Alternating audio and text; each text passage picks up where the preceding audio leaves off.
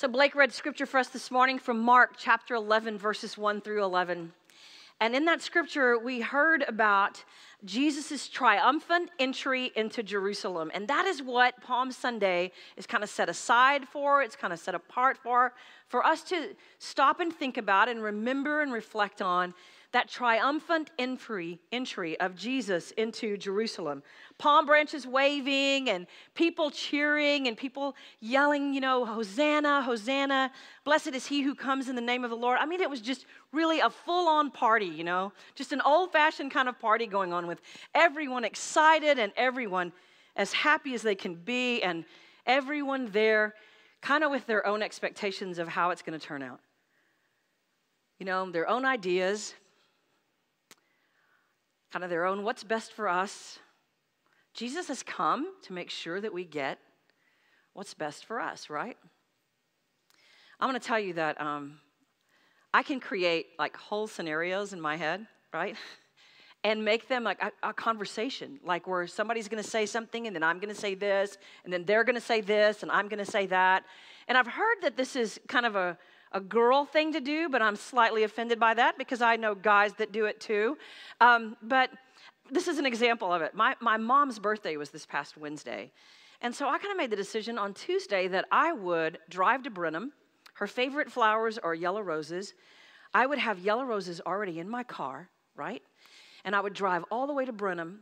And right about the time I came into Brenham, I would call her on my cell phone just to check to see where she was and to make sure she was going to stay right there. So this is how it all worked out in my head. I would call and I would be like, Hi, mom, what are you doing? And she would say, Oh, I'm just here at the house. And then I would say, Oh, really? You're not going anywhere? And she would say, No, I'm not going anywhere. I'm just kind of hanging out here. And then I would say, Okay, well, uh, be sure and check Facebook because I put a picture of you when you graduated from high school on my Facebook page and said happy birthday to you. So check that out and I'll talk to you soon. And you're sure you're not, not going anywhere? And she's going to say, No, I'm not going anywhere. Perfect. So then I would ring the doorbell, right? And she would come to the door and I would be standing there with her yellow roses, and she would say something like, You're the best daughter in the world. right? That's how that's the whole thing's gonna go exactly like that, right? Um, so I told Robert about it on Tuesday night. And he's in the kitchen with me, and finally he just turns and looks at me, and this is what he said I really hope this turns out as happy for you in real life as it has been in your mind. And it was happy, but nothing went quite the way. You know, my mom said, I'm not going anywhere. That's what she said. I'm not going anywhere. And so I, I'm like right by the house when she said that. And I so I park in the driveway and sneak around to the front door and ring the doorbell. And in the meantime, she goes out through the garage and sees my car. She should have told me that she was on her way to Walmart. Anyway. Um, we all have, you know, these expectations, um, these ideas of how things are supposed to work out. And um, I don't think there's a person alive that hasn't done that to some degree. We place our own expectations onto someone else. And sometimes, you know, um, we call it our hopes and our dreams. You know, parents do it. For their parents have hopes and dreams for their kids. When I do premarital counseling with couples, uh, I'm, I'm here to tell you that couples have some relative, relatively specific hopes and dreams for each other, uh, for their future spouse. Um, and this scripture is speaking today of some very deeply rooted expectations, some very deeply, long time grounded hopes and dreams for what the Messiah would do and who he would be and how he would act. Everyone certainly knew um, that the Messiah, that Jesus would make all wrongs right. He would oppress the oppressors. He would punish the wicked. Surely everyone knew that the Savior that God was sending to them would be victorious over all their enemies. Anyone who rejected and denied him, and he would bring justice for all of those who had been treated so unjustly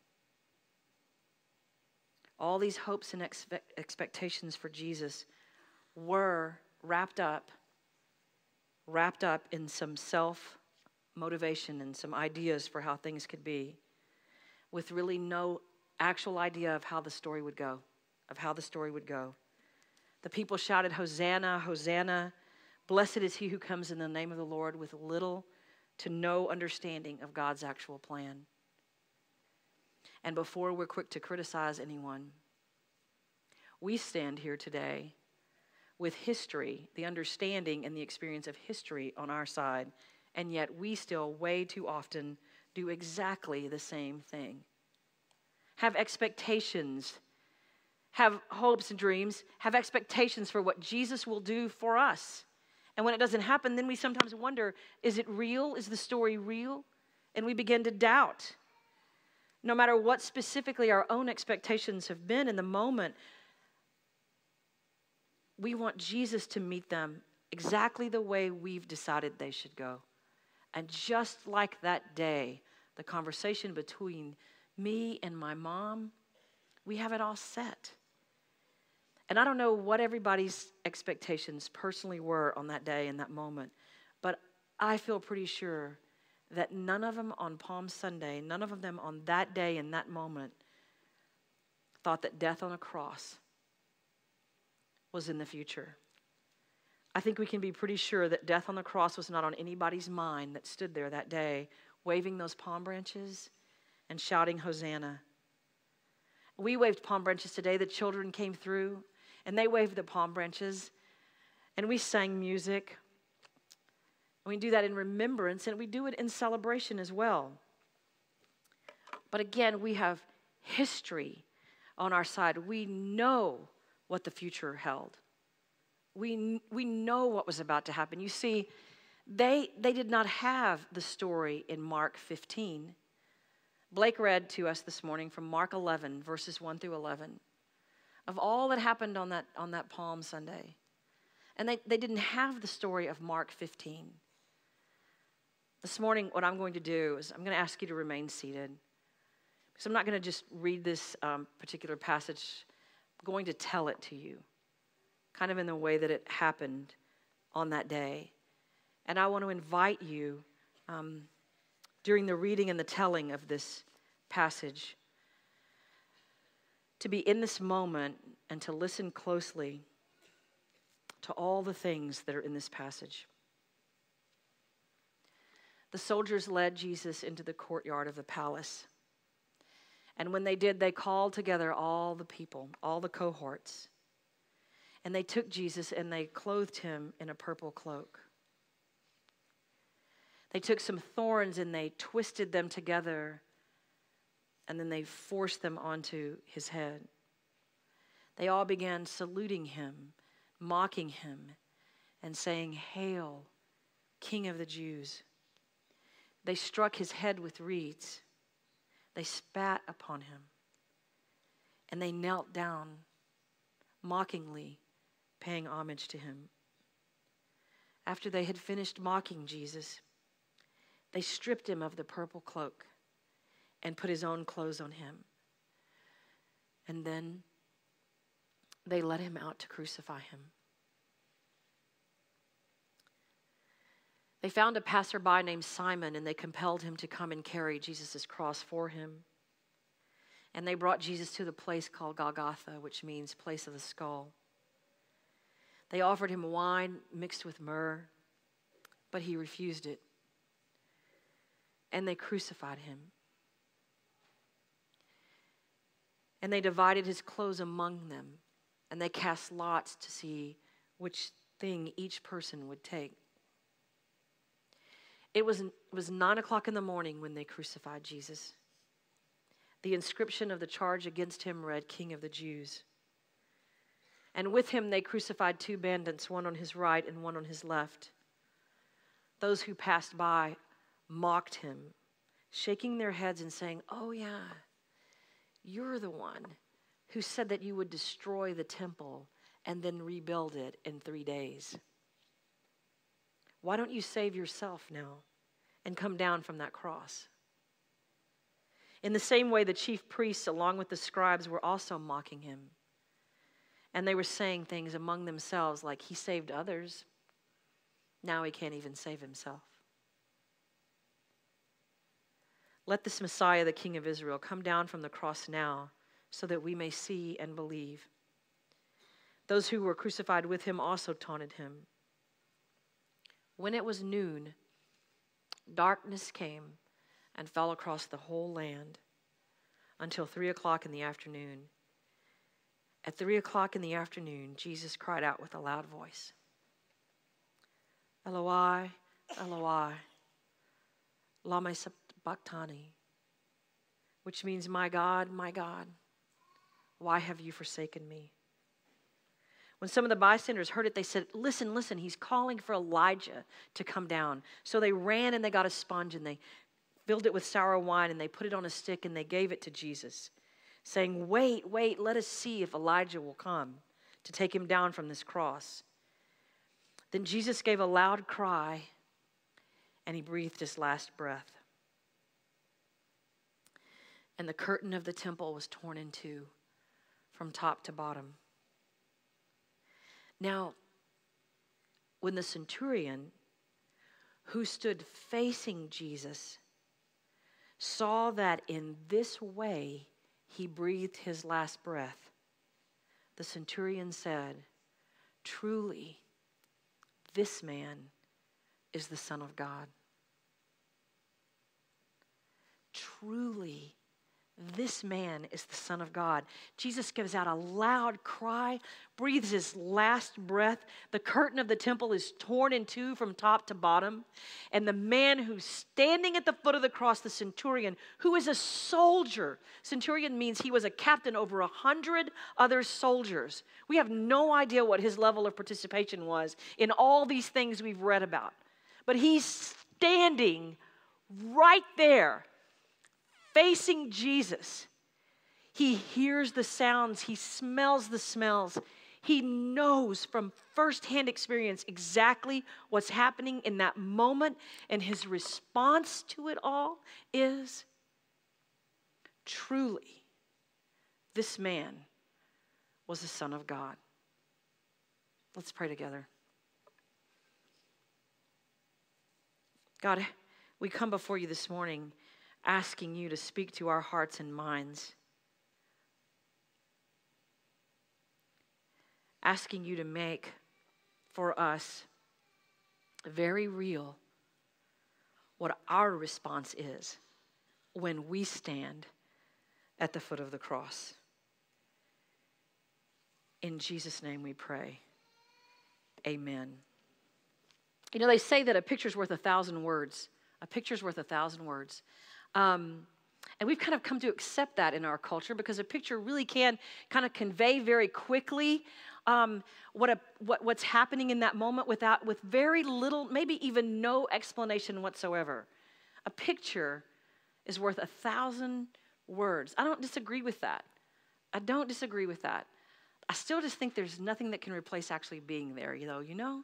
Like actually being in the moment. I love to take pictures oh, with my cell phone. In fact, I kind of drive my kids a little bit crazy because this is sort of my attitude. Like, if we don't get a picture of it, it didn't happen. You know, and so I'm always like, oh, oh, oh, let me get a picture. I've got it in my pocket all the time, or somewhere near where any, mo- you know, moment that's that's special or just cool, I got to have a picture of it.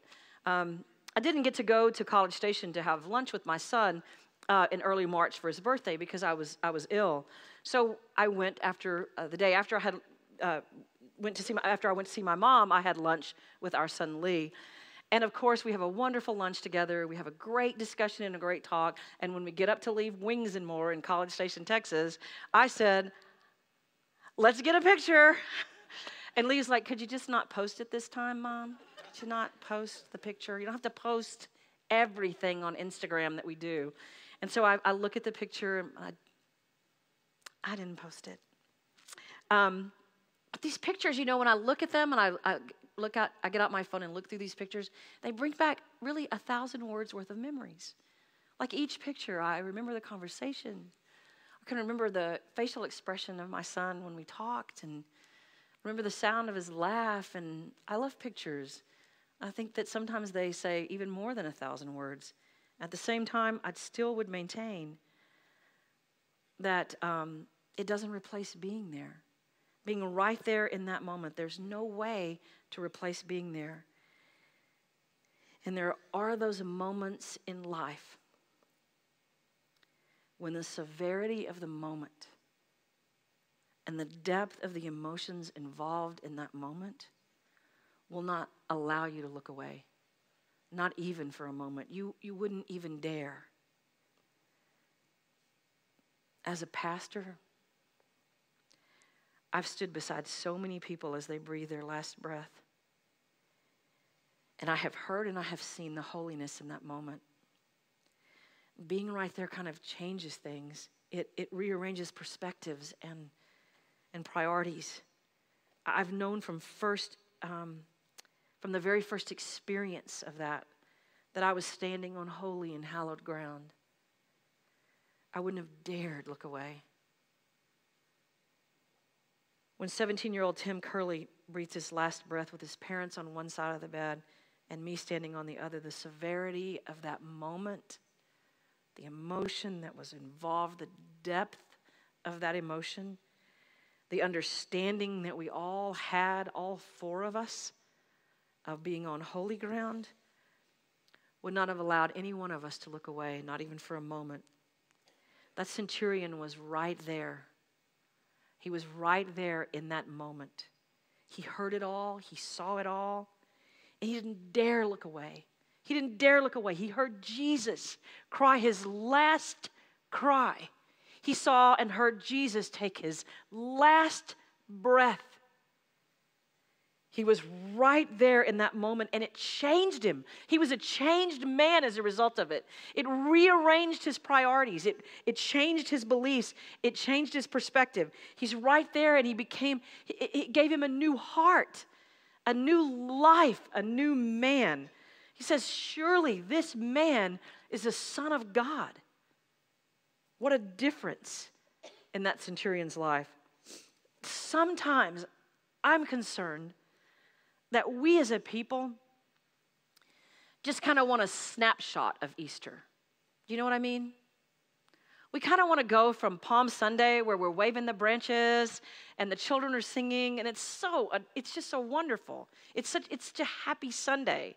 We want to go right from that to Easter where it's so happy and we're celebrating the resurrection. And sometimes I wonder if we're getting to a place where we've even stopped believing that Jesus died. Because we go from his triumphant entry to his resurrection. I was talking to a friend of mine about this this week, and he said, and, they were telling me about a friend of theirs that he called a church years ago on a Good Friday, called a church and said, Hey, uh, what time is your Good Friday service? And the receptionist was really kind of confused. She's like, What are you talking about? He said, Don't you have a Good Friday service? I'd like to come to a Good Friday service. And she told him, At this church, we celebrate the resurrection. Well, at every church, we celebrate the resurrection, right? I mean, we all celebrate the resurrection. It doesn't matter what church it was or what denomination it was, it doesn't matter because it might be easy for some of us to be like, oh, you know, that's just those non denoms for you, you know? But here we are, United Methodists, many of us celebrating Palm Sunday, celebrating the resurrection, and never allowing ourselves to stand at the foot of the cross. Never allowing ourselves to be in that deep moment of emotion and stark reality because we all know it's sometimes too hard. The longest journey is the journey to the graveside. And so many of us don't want to do that.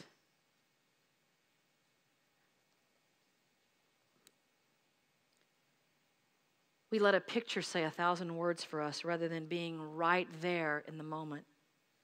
As a matter of fact, church attendance across the nation has declined on Maundy, Thursday, and Good Friday. Now, I'm happy to tell you this about, about you guys.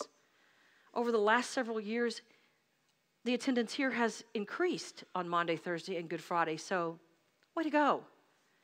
But as a nation, um, Maundy, Thursday, and Good Friday, attendance is on the decline. People like the party and the pictures while avoiding those moments so deeply powerful that you do not dare look away. You do not dare look away. I want to, I want to invite you and strongly encourage you this year to take that journey. You can actually begin tonight. Tonight at five o'clock on the, in the south side, on the south in the south sanctuary, there's a worship service taking place at five o'clock with dinner that follows. And let me tell you how amazing this is going to be. It's a worship service that's specifically designed to help children understand Easter and help parents and grandparents and aunts and uncles and neighbors and friends explain Holy Week to children. I, this is a wonderful experience. I, I hope that you'll begin this, this Passion Week by, by being in that worship service, specifically designed to help children understand Easter. And maybe that would be good for all of us to kind of start there. On Maundy, Thursday, we will gather together here and we're going to be doing something a little bit differently this year. We're going to line some of the chairs up so that when we receive communion together as a body of believers, you can receive that while kneeling. And we're going to talk about and explore what happened on that Maundy, Thursday, and what happened when Jesus was with his disciples and they shared in the Last Supper together.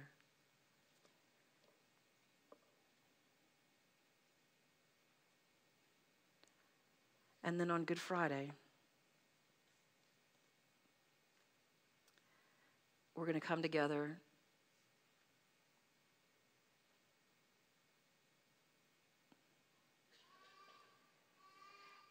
And we're going to take the opportunity to stand at the foot of the cross. To allow ourselves to be in that moment of reality where we wouldn't dare look away.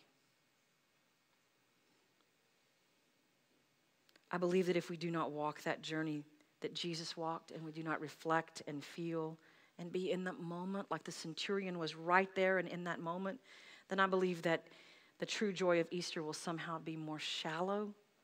It will lack the depth that it could hold when we hold the burden in our hearts. Now, let me be very clear. I want everyone to understand this. Because of the resurrection, because of the resurrection, we don't stay in those moments, but we do not stay away from them either.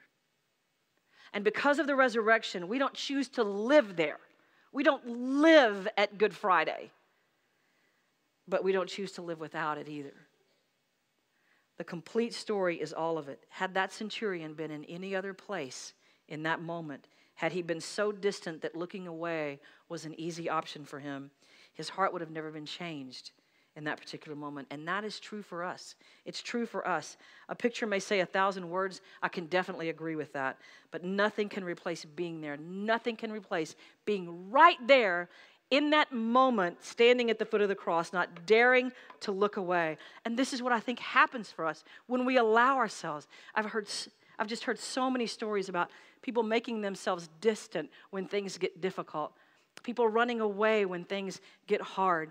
And then I know people who walk through some of the most painful experiences in life and they and they and they stay together and, and they walk that journey together and they walk that journey with God.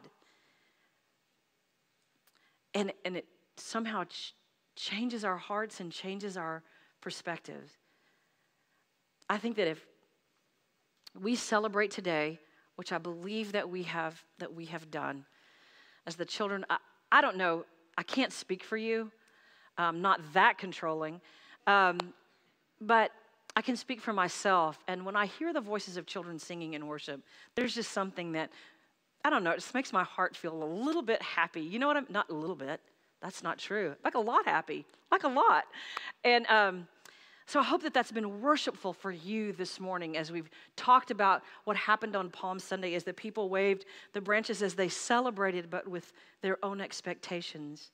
And I would ask you this morning is that, is that how that works for you when you worship and when you pray? Is it always with your own expectations? Or are you ready to take that journey? That journey with Jesus that says, you know, I know you're with me, I know you're by my side, and that no matter what happens, I'll stand at the foot of the cross and I'll say, truly and surely, this man is the Son of God. Let's pray together. God, we do thank you and we praise you for your Son, Jesus. We thank you, God, that when he rode into Jerusalem on that day, he did know. He did know what the future would hold. And yet, because of love and because of our need for grace and forgiveness, he took that journey. And so, God, help us to be people who do that as well. Help us to be people who are, who are willing, who are ready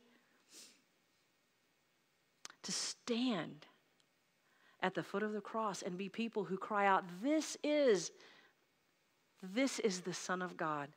We love you, God. We thank you so much for loving us. And we pray, God, that you begin a work in each one of our hearts and minds this Passion Week, that when we come here on Sunday morning, Easter Sunday, or Saturday night to celebrate Easter, that God, we come having walked that journey, having experienced the depth and the emotion of all that your son Jesus experienced so long ago. So that Easter can be of the truest and the purest joy because we have held the burden in our hearts and then we have turned it over to you at the foot of the cross. We pray all these things in Jesus' name. Amen.